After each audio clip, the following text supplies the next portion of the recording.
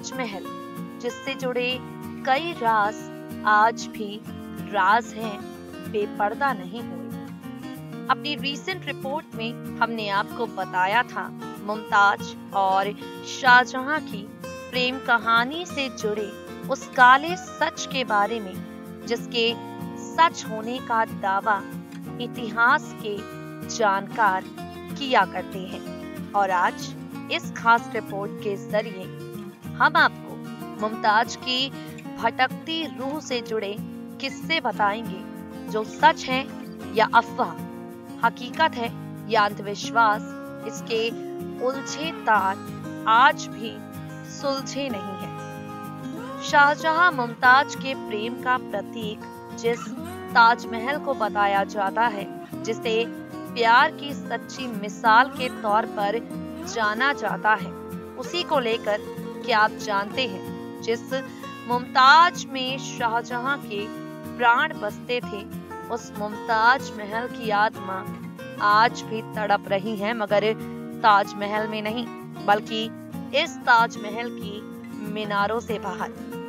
गौर हो कि ताजमहल को बनाने में करीब 20 वर्षों का समय लगा था, और तब तक के लिए बेगम मुमताज़ का शरीर बुरहानपुर में दफन था, जिसे बाद में आगरा स्थित ताजमहल में एक खूबसूरत मकबरा बनवाकर दफना दिया गया।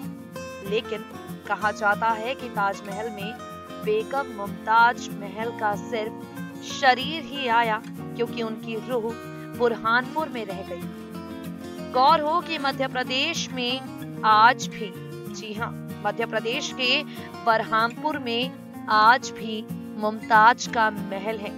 यहाँ पर रहने वाले लोगों का ऐसा कहना है कि आज भी इस महल से अजीबो गरीब तरह की आवाज़ें आती हैं।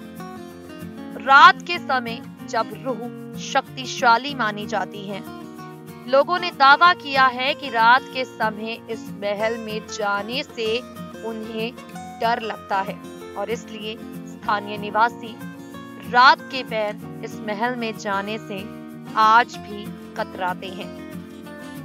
बुज़ुर्गों की माने तो सदियों से मुमताज़ महल की रूह इसी बरहामपुर के महल में भटक रही है।